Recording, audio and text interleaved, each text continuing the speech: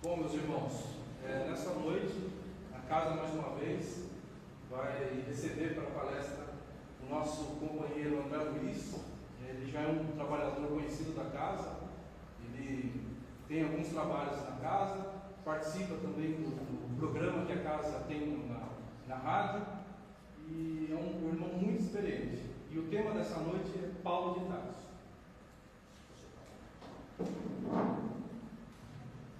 Boa noite a todos. Bom, eu espero poder transmitir a vocês um pouquinho do que é Paulo. Eu falo um pouco do que é Paulo pela minha pobreza de sentimentos e capacidade. Mas quando nós falamos de Paulo, nós falamos da transformação do homem velho, do homem novo, da luta para essa transformação. Quando falamos de Paulo, a primeira coisa que nós nos lembramos é sempre aquele Saulo, Saulo, por que me persegues? Na verdade, a história de Paulo, ela não se restringe somente à primeira etapa de sua vida e à sua conversão à estrada de Damasco. A história de Paulo, para a gente, a narrativa da transformação do homem, da sua renovação. Paulo era um homem educado desde a infância em todos os orgulhos e tradições da raça judaica. Ele foi preparado para representar o que aquela, aquele povo tinha de melhor. E o orgulho era uma das características marcantes desse povo, inclusive o orgulho de ser o povo escolhido de Deus. Paulo não era uma personalidade medíocre, não era uma personalidade é, má, não era um espírito atrasado, muito pelo contrário, era um homem estudado, trabalhado desde a sua infância para ser um cultor da lei, da lei de Moisés, para ser um profundo conhecedor dos ensinamentos de sua raça. Só que nessa primeira etapa de sua vida, carregado por toda a bagagem intelectual que ele possuía, ele ainda era um homem extremamente orgulhoso, extremamente inflexível, extremamente insensível para as dores e necessidades que são semelhantes. Isso não desqualifica as suas qualidades morais que ele possuía, possuía muito, mas faz nos entender um pouco a postura que ele adotou no começo de sua vida em relação à nova doutrina, ao cristianismo nascente e aos adeptos dessa doutrina. Paulo, em seu entendimento, não via-se instrumento de nenhuma ação menos nobre, muito pelo contrário. Ele sentia-se como instrumento de uma ação poderosa defensora dos interesses de sua raça, da preservação dos ensinamentos que seu povo cultuava e guardava há muitos séculos. Só que faltava o sentimento de amor, de caridade no coração para ponderar esses sentimentos, para ponderar as suas ações.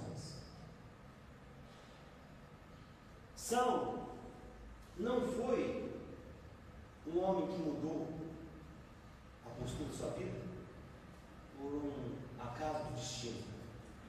Jesus, desde o começo de sua existência, o preparou para o seu apostolado.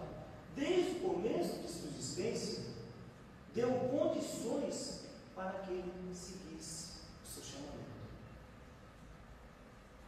Ao nós lermos Paulo e Estevão, nós percebemos que esse primeiro chamamento que Jesus coloca no caminho de Paulo é que Paulo foi instruído por um rabino, um doutor da lei, extremamente moderado, bondoso, extremamente lúcido e ciente das necessidades do povo, mesmo que ainda também educado pelos preceitos do judaísmo.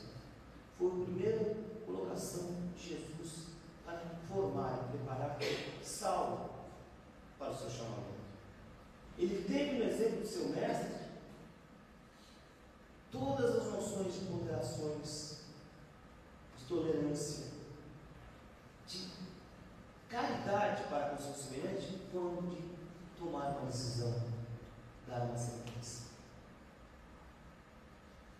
Mesmo assim, Paulo não tinha ainda captado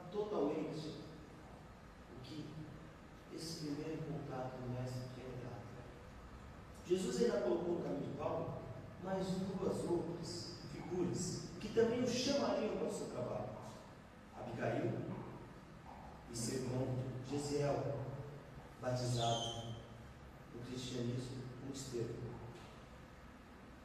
Dos judeus criados nos ensinamentos da doutrina judaica, mas profundamente amorosos, espíritos profundamente sensíveis, que apesar de terem recebido os mesmos ensinamentos, souberam valorizar das Sagradas Escrituras os ensinamentos de amor e tolerância.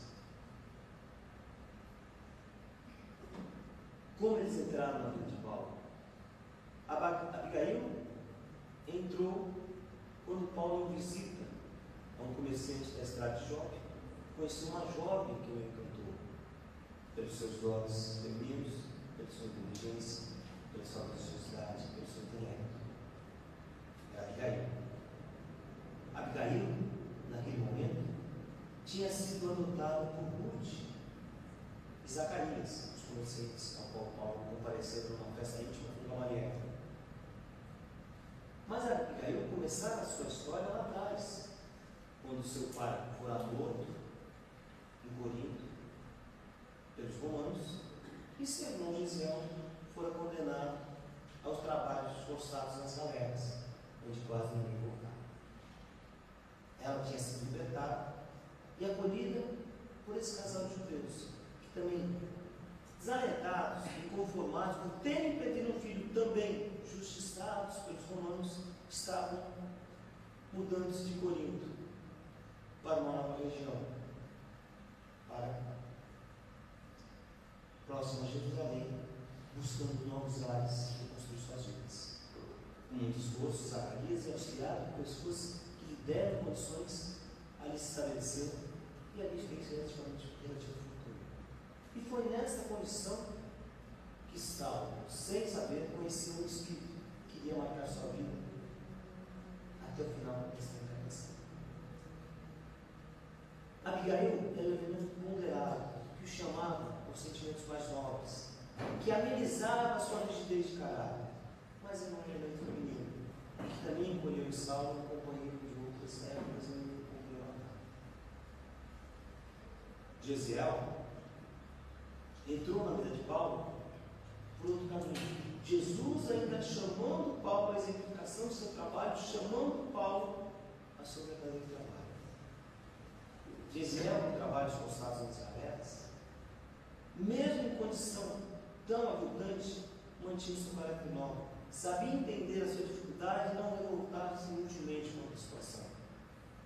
Tornou-se, naquela embarcação de elementos sofridos e revoltados, um ponto de ponderação, um ponto de harmonia, um ponto de conforto para outros que nem ele sofreu ali dentro. Quando essa embarcação voltava de uma de suas viagens para Corinto, adentrou nela patrício romano, Sérgio Paulo, que durante a viagem adoeceu. Acho que só agora pegou o som, né? Que durante a viagem adoeceu, com febre alta, chate por todo o corpo. Todos imediatamente se afastaram dele. E o comandante do navio designou um escravo para que tomasse conta dele. E o mais habilitado, o mais capacitado para essa tarefa, pelos seus dons morais, pelo seu comportamento até no navio, era Gesiel. Gesiel vigiou dias e noites até que Paulo Sérgio recuperou-se. Só que Gesiel adoeceu da desonância. O comandante, muito logicamente, decidiu lançar Ezequiel aos peixes. Melhor matar um escravo que pôr a perder toda a tripulação.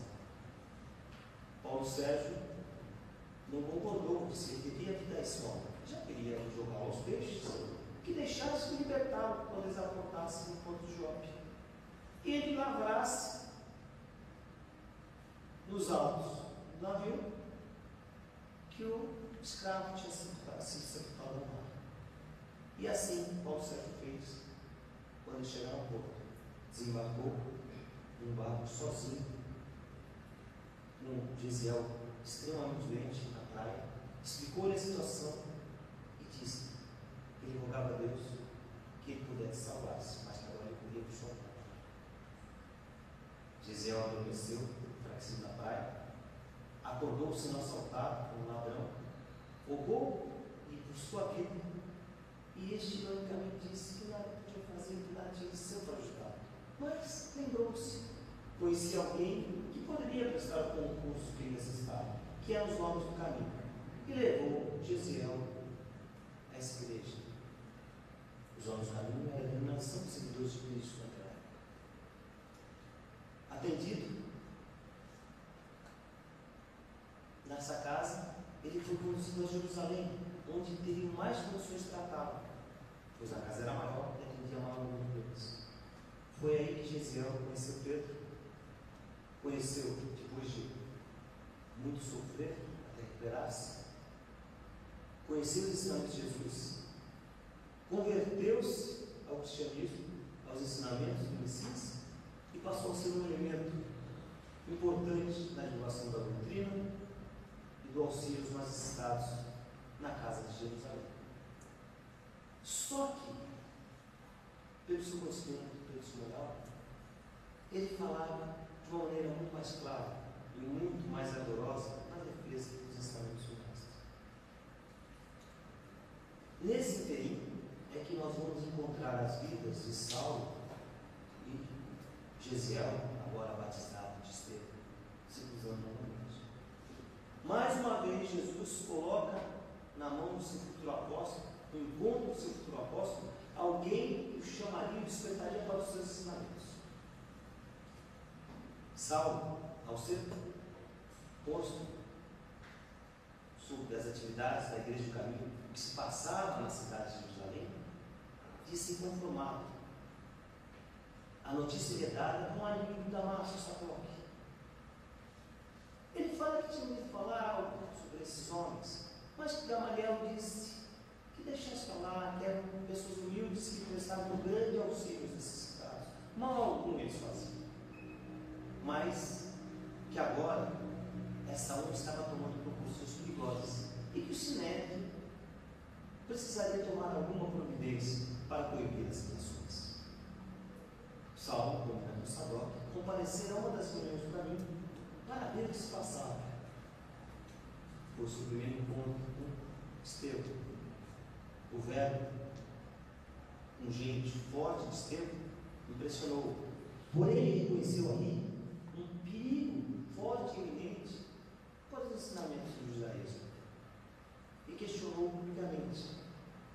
Naquele primeiro embate, pela clareza de suas ideias, pela tranquilidade de seu coração, Estevão não aceitou aquele,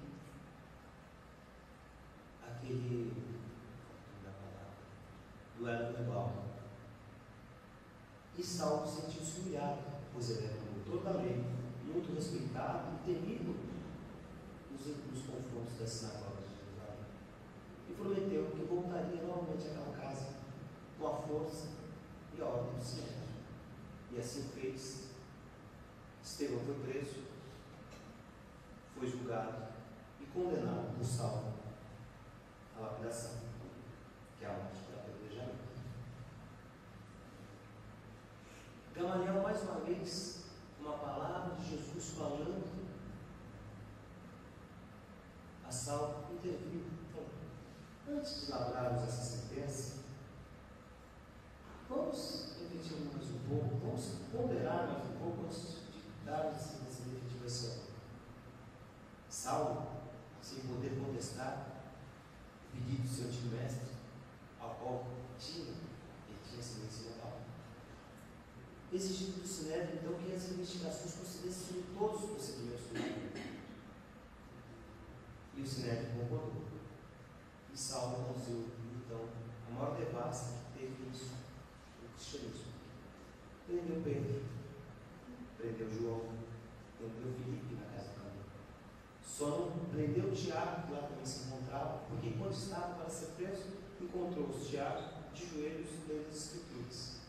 Ele não podia prender alguém que teoricamente está demonstrando respeito aos estamentos Moisés. Levados a julgamento, Saulo pretendia condenar aqueles três apóstolos ao apedrejamento. Gamaliel, mais uma vez eleito, falou com os sumos sacerdotes, depois veio falar com Estevão. Disse, Estevão, faz isso. Esses homens não merecem uma pena. O que pretendes para eles? E Estevão, eu pretendo pedir a pena de morte. Aí Gamaliel falou, não concordo. Pelo ascendente moral que eu tenho sobre ti, dá liberdade a esses homens, vocês nada fizeram. Não me faz ir a público numa discussão contigo, aqui no Sinédrio, para expor-nos, escandalizar-nos a todos com nossas opiniões. Em breve dias, eu me aposentarei e demandarei o deserto com fim de estudar os ensinamentos desse Nazareno, que tanto tenho feito pensar. Saulo conformou-se, mas cedeu. Porém, a vida de Estevão não cederia, porque já tinha pedido publicamente a sua libertação. E assim foi feito. Foi marcado para uma semana depois disso a morte de Saulo, a morte de filha, de Estevão. E para esse feito, Saulo fez questão de que sua noiva comparecesse para registrar-se do seu sucesso. Abigail tentou fugir de todas as maneiras dessa triste cena, mas aqueceu para não desagradar o noivo. Mas pediu para chegar só no final do acontecimento. E quando lá chegou, reconheceu naquele indivíduo amarrado ao poste o seu irmão e falou aos ouvidos do céu: Salve, é meu irmão. Salve, meu irmão, ser, estás enganado. Chamou o funcionário sinédrico e disse: Recolhe o homem. Mas ele não está morto. Faz mal, está quase morrendo, eu arrancarei dele a confissão e arrependimento final. E levaram para a sala dos sacerdotes. Lá chegando, sozinho, ele, Abigail Saulo, Saulo, desculpa, Estevão, ao olhar para Abigail, falou: Abigail, Saulo não teve mais dúvidas. Estevão era irmão de sua amada, sua noiva, futura esposa. Né? Estevão virou-se para Abigail e falou: Eu não tenho ódio por teu irmão. Ele é um irmão que eu tenho no coração. E sei que quando ele conhecer Jesus, ele defenderá com tanta força e condição como defendeu agora Moisés. E Estevão faleceu nos braços de Abigail, exortando a ser fiel a Saulo. Saulo, no entanto, ao fim desta cena, disse: Está tudo consumado, inclusive para nós, tudo está terminado. Abigail não conseguia acreditar no que estava ouvindo. Irmão amado, quem pensava morto, e reencontrar, e agora também perdi o noivo. Voltou para casa da irlandês, adoeceu e pediu para ser recolhida à casa de seu pai, foi prontamente atendido. Chegando lá, muito doente. Saulo não mais procurou. Decorridos oito meses, o amor falou mais forte e ele resolveu visitá-lo uma vez na estrada de Damasco. E encontrou já muito fraca, porque ela tinha pego há quatro meses uma doença forte dos pulmões. E nada tinha que se pudesse fazer para melhorar. Ficou inconsolável. Zacarias falou-lhe que o único consolo que ele encontrara nos últimos tempos foram as palavras do velho pregador. Chama lá que aí estagiário por uma semana. Saulo procurou a noiva, conversou com ela, disse que ela melhoraria e que voltaria todas as noites para o seu definitivo sucesso na saúde. No dia seguinte, foi chamada às pressas porque a feira organizada. A Bebel morreu e Paulo ficou consolado, Saulo ficou consolado. Nesse momento, em vez de ele refletir no que se passava, nas chances que a vida lhe colocava, ele voltou todo o seu rancor, todo o seu ódio, toda a sua amargura contra aquele Cristo que intercalava-se em todos os caminhos, em todo o seu caminho, atribuindo a ele todas as suas dificuldades e decidiu se tornar um defensor aguerrido da lei, intransigente, perseguindo a todos que contrariassem a lei de Moisés. E foi nessa situação ele se dirige a Damasco, e onde Jesus sem nenhum outro recurso, em sua infinita bondade, comparece pessoalmente a Saulo, na visão que ele teve de estar em Damasco, e exclama: Saulo, Saulo, por que me persegues? Saulo reconhece, então, na presença de Cristo, os seus erros, ajoelha-se, chora e pede missão. E aí, uma postura mais humilde, ele: Senhor, o que desejas de mim? Cristo responde: Entre em Damasco, e lá tu serás procurado, e direi desperte-te. Essa é a primeira história, parte da história de Saulo. É que nós todos nos guardamos. Mas foi a primeira parte necessária para a transformação desse espírito novo. Porém, que necessitou que Jesus aparecesse pessoalmente a ele para a sua doutrina. Para aquelas providências, para aquelas ações que ele tinha condições e capacidade de fazer. Mas mesmo nesse chamamento, Saulo ainda não se encontrava.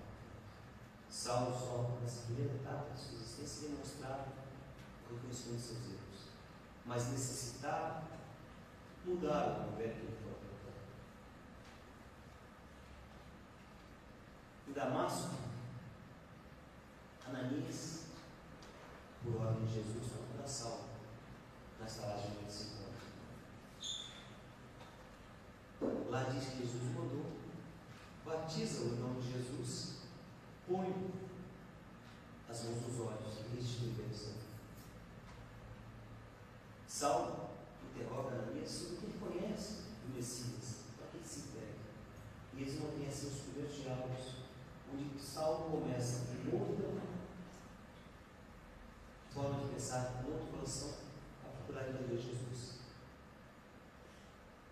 Ele interroga se Ananias tem alguma coisa que ele possa interar-se dos ensinamentos. Ananias diz: verbalmente eu sei quase tudo. Por isso eu tenho algumas poucas anotações que eu fiz das anotações de Levi. E Saulo pede para copiá-las. Começamos então aqui percurso, a jornada de transformação daquele homem, que ainda não tinha condições de ser o Paulo que todos nós conhecemos, aquele Espírito que foi conhecido como o apóstolo dos gentios, que levou a palavra de Cristo a todos os cantos possíveis naquela época. Ele, nesse momento, apesar de imbuído pela revelação do Mestre, pela crença do Mestre realmente é o Messias, ainda estava de ferramentas do jovem Deus. Mas ele tinha animado seu coração de sincero desejo de comunicar essa sua descoberta aos seus contemporâneos. E compareceu à sinagoga. Foi um rebuliço geral. Quando ele começou a falar em Jesus, todos se voltaram. E com muito custo, Saulo se retirou da sinagoga dirigiu-se a Ananias, triste e conformado, porque no seu primeiro testemunho que ele acreditava em Cristo, ninguém acreditava nele. Ananias disse então que ele precisava fortalecer-se, ele precisava deixar germinar em si as forças necessárias para que ele pudesse exemplificar Cristo. Que ele procurasse meditar antes de assumir novas batalhas, novos compromissos. Saulo reconheceu as palavras sábias de Ananias e resolveu procurar o deserto, como seu povo muitas vezes fazia, para meditar, para procurar encontrar a Deus. Lembrou-se de Gamaliel, que tinha sido retirado do Sinédrio e morava então em Palmeira. Procurou. Gamaliel recebeu muito carinho, com muito amor. Ficou extremamente contente em ver que as esperanças que ele tinha, o seu discípulo, iriam se concretizar, que não foram fundadas. Disse que o ajudaria e falou com o seu irmão Ezequias, que era um homem consciente, dos intuitos de Paulo. Desculpe, ele era Saulo. De Saulo, que necessitava internar-se pelo deserto para meditar antes de pregar a palavra de Deus, explicar que. Ezequias disse que não, que poderia lugares, já ir mesmo com ele, em Palmeiras. Mas atendendo aos pedidos dos irmãos, concedeu de trabalho no Assistano, onde só havia um casal, Prisca e Átila, trabalhando. E para lá, Paulo, Saulo se dirigiu. É difícil esquecer os momentos certos, mas Saulo se dirigiu. Desde lá ele chegou, somente em companhia daquele jovem casal, houve afinidade entre eles. E ele percebeu que ele sempre tinha uma comunidade permanente. E com muita sinceridade perguntou isso aqui no meio dos estamentos do Messias, ao qual ele amava muito. Por isso. E Átila, surpreendido, disse que sim. E aí, a afinidade entre eles se fortaleceu mais. E além do trabalho árduo de todos os dias, as noites eram momentos de reflexão, em que eles encontravam paz podiam e se fortaleceram. Saulo permaneceu três anos no deserto, sob assassinado, preparando a mudança do homem velho que era, trabalhando com a sua personalidade, meditando nos ensinamentos de Jesus. Um ano que ele estava no deserto, chegou-lhe a notícia de que Gamaliel havia falecido. Entristecendo muito. Mas Gamaliel, antes de partir para o Aslan, tinha dado os manuscritos que ele recebia do próprio Pedro, com os ensinamentos ele viu. Uma relíquia sagrada que ele tinha. E ele sentia que não queria muito. Que ficasse então o seu discípulo amado. E foi a única lembrança que Saulo trazia de Gamaliel. Três anos transcorridos, o jovem casal decidiu ir a Roma pregar o Evangelho. Convidou o Saulo. Mas Saulo disse: Não, tenho muitos compromissos, muitos débitos com pessoas que aqui muito mal vistas em Jerusalém. E tenho que reconciliar com eles e também procurar os meus pais. Saulo então procurou dirigir-se a Jerusalém e procurou de novo a casa de Pedro. Na primeira vez, ele foi com uma autoridade sinédrica. Dessa vez, ele de uma maneira mais humilde. Só que a suspeita sobre ele era muito grande. Pedro, Tiago e João não sabiam como proceder ante a presença do antigo inquisidor, do antigo perseguidor. E disseram, mandaram dizer, que ele voltasse mais tarde, que aí que ela não poderia atender. E reuniram-se à noite com o resto dos elementos da igreja para decidir o que fazer. E resolveram encaminhar Barnabé para falar salvo em nome da igreja e sondar as verdadeiras intenções daquele homem. Saulo, quando encontrou Barnabé, era uma postura diferente do que tinha antigamente. Barnabé reconheceria como um homem mais humilde, feições abatidas, um corpo fragilizado pelos desgastes do tempo, a pele queimada, a barba crescida. Era um outro elemento. Não era o Saulo perseguidor que tinha me falado. E convidou então a seguir para a igreja de Pedro. Lá sendo acolhido por este, onde teve o seu tratamento e pôde repousar até recuperar suas energias. Estava começando uma segunda etapa da vida de Saulo. Saulo, depois de refeito, disse a Pedro que gostaria de trabalhar.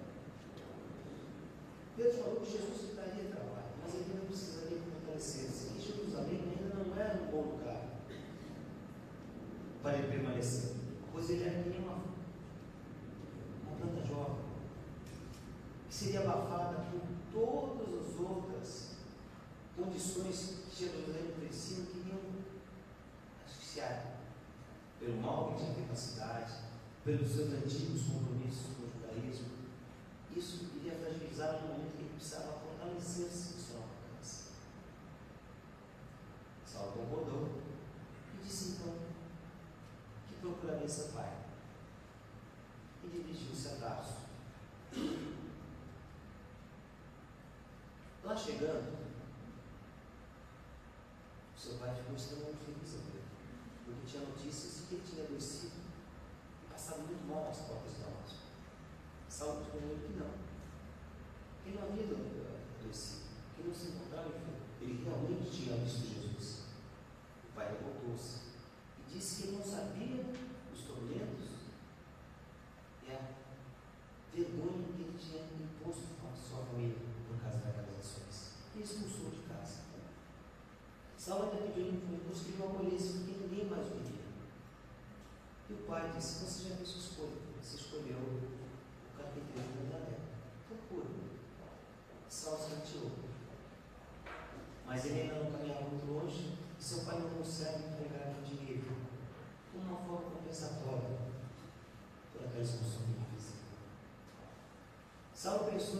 clara.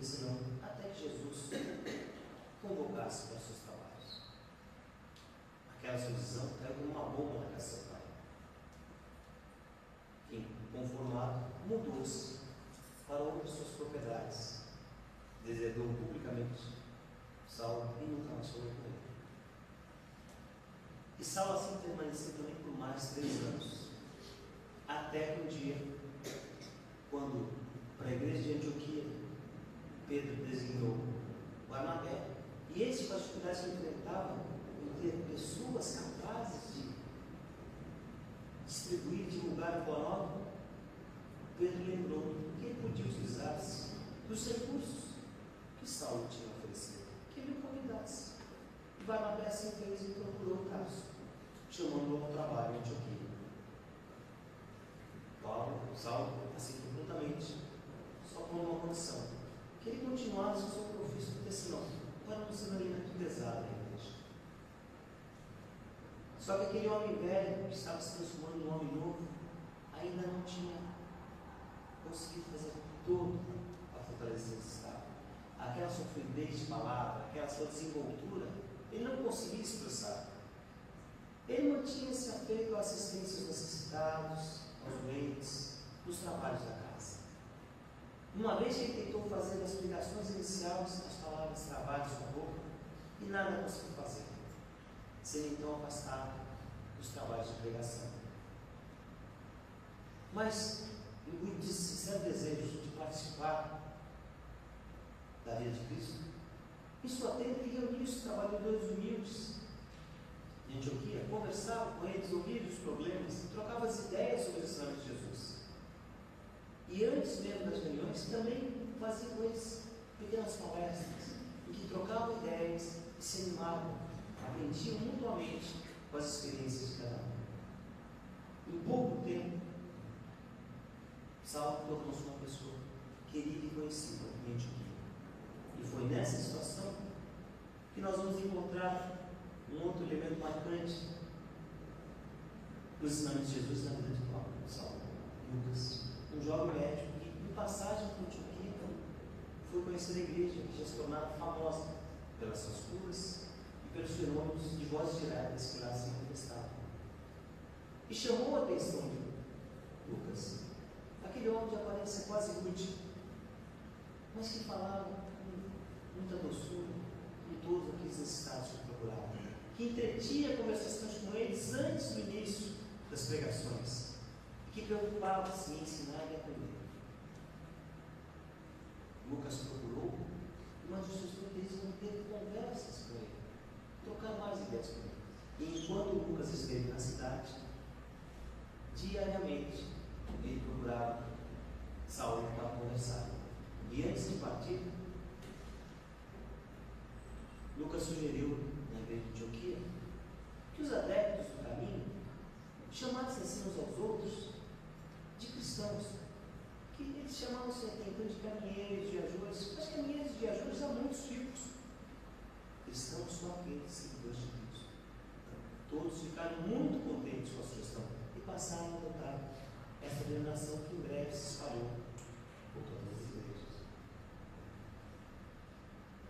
Aqui, nós estamos começando a chegar na preparação de Saulo para o apóstolo dos gentios. Ele ainda não tinha deixado aflorar com todo o seu conhecimento que tinha, todo a sua, seu novo amor a Jesus, aquele fervor com que defenderia e espalharia a boa nova todos os santos. Chegou a igreja de Antioquia uma solicitação de Jerusalém que respondesse, pois Jerusalém passasse por graves dificuldades Barnabé, prontamente, fez a coleta entre os adeptos e, juntamente com Saulo, dirigiu-se à igreja em Jerusalém para prestar socorro solicitado. Ambos estranharam muito as transformações ocorridas na igreja desde os primeiros tempos. A igreja cresceu muito, o número de assistentes, doentes, todos aqueles que demandavam o auxílio dos apóstolos da Deus era muito grande. E os recursos que eles necessitavam obrigavam-nos até pedir a colaboração dos judeus mais duros, que acabavam impondo algumas condições ao funcionamento da própria igreja. Tiago, que então se encontrava na direção da casa, porque Pedro tinha sido obrigado a ausentar-se de Jerusalém em vista da perseguição sinétrica, propuseram mudanças muito drásticas para que até então a casa vazia. Só podiam ouvir as pregações quem fosse circuncidado. Para falar do Evangelho de Jesus, obrigatoriamente deveria se relacionar à lei de Moisés. Vários atos do judaísmo que havia incorporado na sistemática da casa. Isso espantou muito o Barnabé e Saulo. E ao regressarem para a igreja de Antioquia, conversando entre si, Saulo falou que alguma providência eles precisavam tomar. Pois se eles deixassem os ensinamentos de Jesus somente à casa da igreja de Nazaré, somente ao cargo do povo escolhido, em breve tempo esses ensinamentos morreriam. O judaísmo reinante abafaria aquela jovem planta, aquele jovem ensinamento. Talvez num futuro breve, quando talvez não houvesse mais a figura de São Pedro, Simão Pedro para defender a sinceridade e a pureza dos ensinamentos, Cristo fosse apontado como um aventureiro qualquer crucificado entre dois ladrões. E Saulo propôs a Barnabé que eles demandassem outros povos que não só o povo escolhido para pregar a boa nova. Que deixassem a igreja de Jerusalém incluída de tantos trabalhos já tão fortes e tementes e que eles procurassem os gentios para espalhar e avaliar novos adeptos para a boa nova. Barnabé encantou-se com a ideia. E aí, com a permissão da igreja de Antioquia, eles começaram a traçar os planos para as viagens de Saulo, que nós conhecemos como as suas viagens, fundaram tantas igrejas, fizeram tantos adeptos e levaram a ideia e a palavra de Deus, não só de Deus, mas todos os gentios. Nós temos várias, várias narrativas feitas sobre as viagens de Saulo. Mas a primeira, que terminou praticamente em porque eles começaram pela ilha de Chipre, onde Barnabé tinha assuntos familiares a resolver, e terminaram essa primeira viagem na ilha de onde vivia o Procônsul. Foi ali que eles conseguiram fundar a primeira igreja, fruto de seu trabalho. Porque em Neapafos o Procônsul estava muito grande. E sabendo das curas e das ações daqueles missionários que se encontravam ilha, chamou-os à sua presença e pediu-lhes auxílio. O procônsul era Sérgio Paulo, aquele mesmo indivíduo que fora salvo de uma moléstia similar por Estevão no passado. Ele estava sendo assistido por um lado judeu, mais interessado em encher sua bolsa que em poder curar as necessidades do governante, do propósito. Paulo explicou Paulo que sim, ele era discípulo de um médico poderoso que podia curá-lo, desde que ele o aceitasse e decidisse mudar sua vida. Que esse médico era Jesus. O mago era Jesus. Ironizou aqui. Falou, pensei que vocês tinham alguma terapia nova. Mas isso é tudo fácil, isso é tudo mentira. Propôs disse: Eu não posso duvidar de um homem até que se prove contrário. E Saulo, inspirado, lembrou-se das narrativas que Pedro Filho a respeito de Estevão e virou para o propôs falou: Propôs, primeira vez que tu adoeces gravemente, pela misericórdia do Messias, tu és salvo. Aproximadamente 10 anos atrás, quando viajávamos de Corinto para cá, uma doença grave te adoeceu. E quem te acompanhou nos momentos difíceis, quem te tratou, não foi nenhum dos teus, mas um jovem escravo de nome Gesiel. Sérgio Paulo, espantado, reconheceu a justiça daqueles apontamentos e falou: Isso é verdade, tu estás correto. Passa a Deus imediatamente. Isso não é coisa do diabo, são mentiras, não é está dizendo. E começou a falar coisas muito sérias, muito desabanadoras contra Jesus. Depois de tentar dissuadi-lo de uma maneira mais clara, Saulo virou-se para ele e falou: Não tenho mais o que fazer contigo. Eu também agia como tu. Foi necessário ficar cego para que eu enxergasse a verdade. E tu perderás a visão para que tu possas enxergar a luz. E nesse mesmo momento, mas Jesus perdeu a visão. Ficou assim durante quatro horas, onde depois de oração, Barnabé e Saulo restituíram de uma oração. Paulo Sérgio, desculpe, Sérgio Paulo, extremamente admirado, converteu-se ao cristianismo, foi curado por Saulo e aí deu-se a primeira igreja, fruto dos trabalhos de Barnabé, das viagens de Barnabé e Saulo. E Barnabé lembrou a Saulo que se quando Ananias tinha batizado Damasco, sempre tinha escolhido um novo nome. E Saulo disse, não lembrei disso, mas em reconhecimento ao procônsul, quem eu tenho motivos particulares para reconhecer a sua bondade e gratidão, passaria a anotar o nome romano. Adotar o nome, escrever o nome de forma romana, que é Paulo. E assim, desde então, ele passou a assinar Paulo em reconhecimento às atitudes de Sérgio Paulo para o Gesiel no passado e para a criação da igreja. Ainda seguiram com suas viagens e retornaram depois a Antioquia, onde narraram o sucesso desse primeiro dia. Saulo, a partir então, a partir daquele acontecimento em Neabaus, já não era mais o mesmo pecador de antes. Ele deixara aflorar todo o seu vigor na explanação e na defesa dos ensinamentos de Jesus. Ele tinha conseguido burilar aquelas dificuldades de vencer o que ele era até a chamada estrada de Damasco, se chamando a estrada de Damasco, que ele pudesse sim ser um pregador da boa nova. E a partir desse momento, o verbo de Paulo foi sempre muito forte. Em todos os lugares por ele passou, e ele passou por várias cidades da Ásia, fundando igrejas, conquistando gentios, transformando judeus. O seu verbo sempre foi inspirado. Por esse verbo inspirado, pelas defesas do Senhor de Jesus, ele sofreu muitos afrontos. Ele foi preso, foi apedrejado, foi torturado. Sofreu várias punições indevidas, sempre conseguindo retirar liberdade pela graça de Jesus.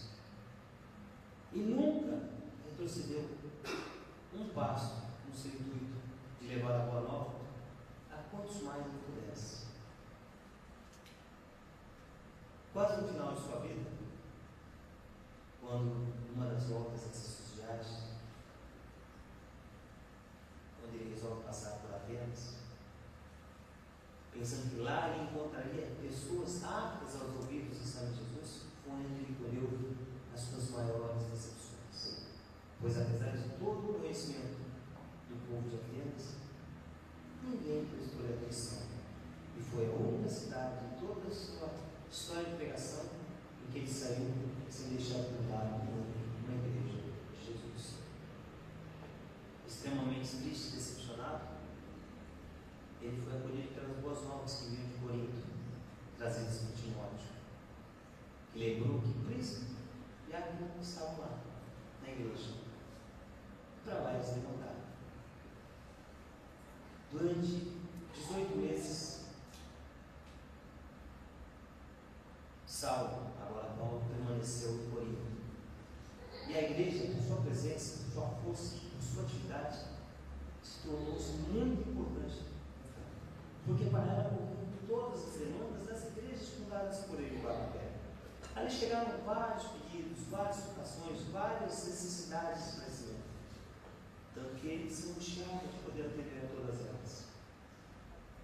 E num desses dias à noite, após o trabalho da igreja, pensando em como ele poderia dar conta de tanto trabalho, ou seja, dos compromissos que ele havia assumido com a igreja de Corinto, da necessidade de angariar fundos para a igreja de Jerusalém, de atender as igrejas de coletividade que pediam a sua presença e seu auxílio, ele ouve Jesus que fala: Não te preocupes, continua dizendo a verdade, escreve para eles em meu nome, e eles saberão compreender a tua impossibilidade de comparecer aos contos. E foi aí que nós começamos a conhecer o movimento das epístolas tão conhecidas até hoje por todos nós, as cartas que Paulo mandou às comunidades criadas por ele, em direção aos mais novos propósitos nesse esclarecimento.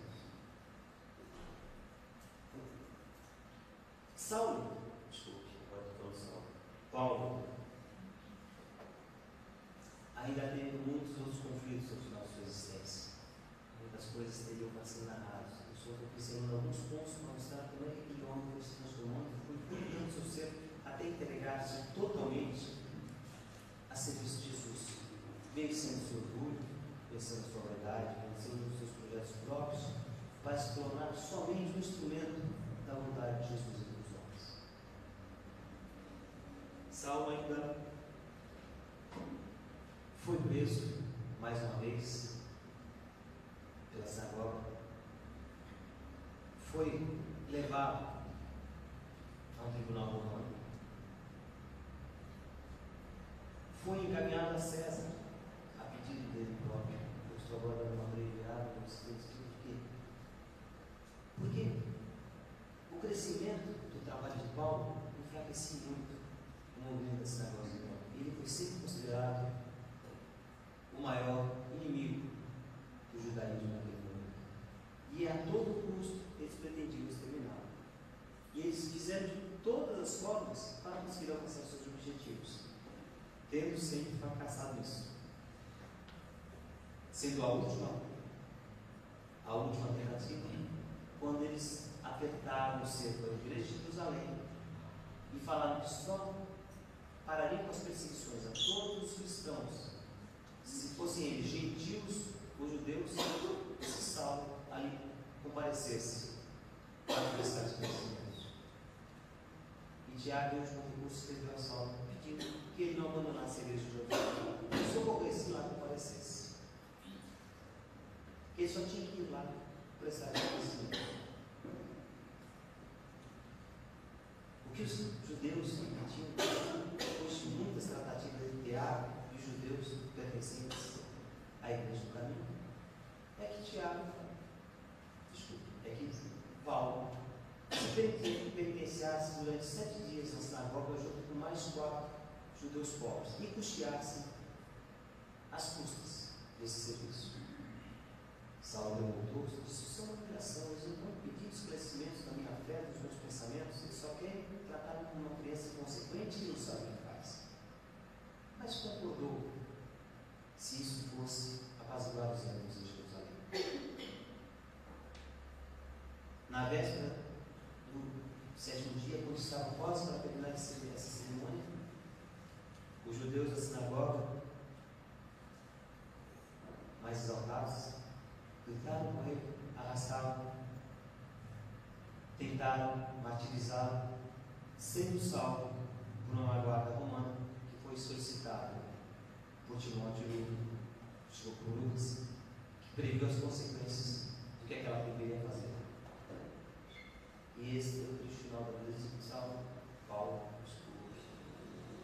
em que ele vai ser conduzido à presença das autoridades romanas, vai mostrar a fragilidade das acusações que o Sinédrio tinha para com ele, E por fim, para evitar uma armadilha que o Sinédrio pretendia, transformando uma face da sua punição,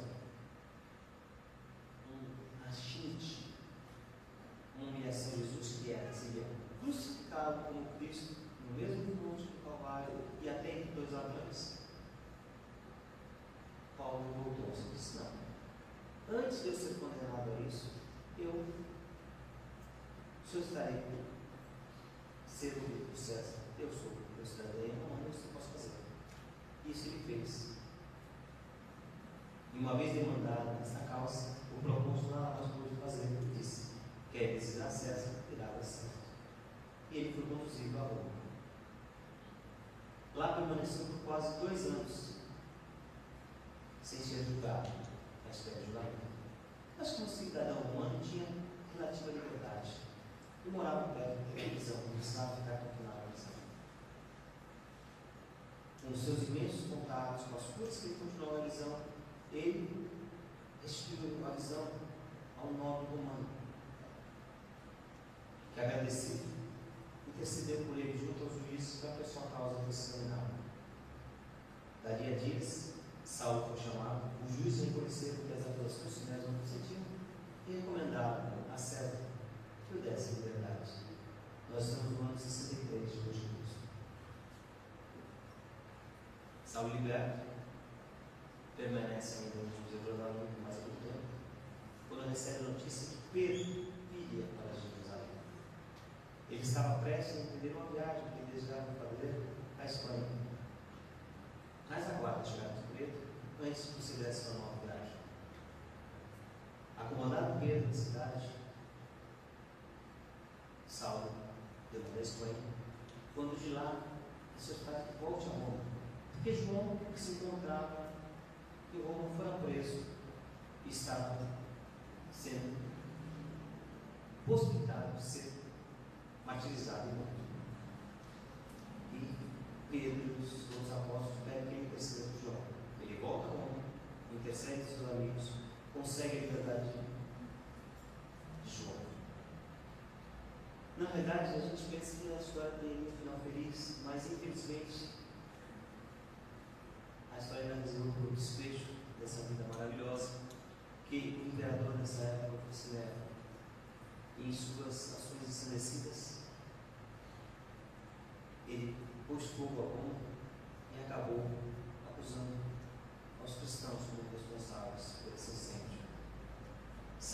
Em liberdade, ao ir interceder por cristãos junto a Nero, é preso mas de uma maneira muito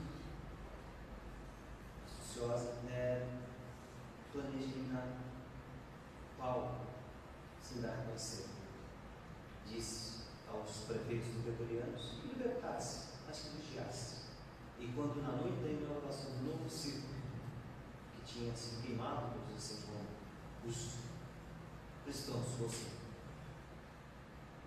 enviados às férias, que ele tirasse Paulo da cidade e matasse. E assim aconteceu. Logo após o martírio dos cristãos na arena do círculo, Paulo é conduzido por uma hora de seis homens a Viária, longe de Roma, feito aos cemitérios, e ali ele é decapitado. E assim nós temos o tema da vida de Paulo. Um homem que conseguiu chegar ao final de sua existência, em paz consigo mesmo, em paz com consciência, em paz com Deus.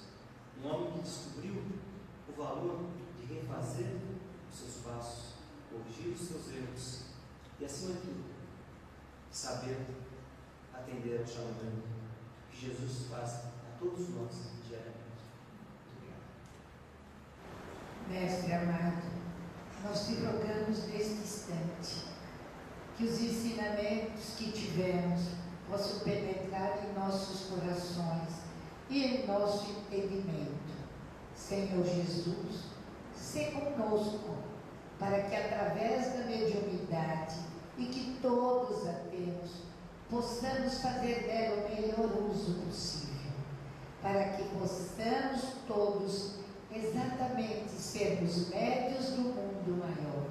Se conosco, Senhor, na palavra, nas atitudes, nos fatos e no trabalho. Que os nossos braços possam servir de amparo a outros e que nós possamos abraçar a todos com amor e ternura. Se conosco, Mestre, hoje, agora e sempre.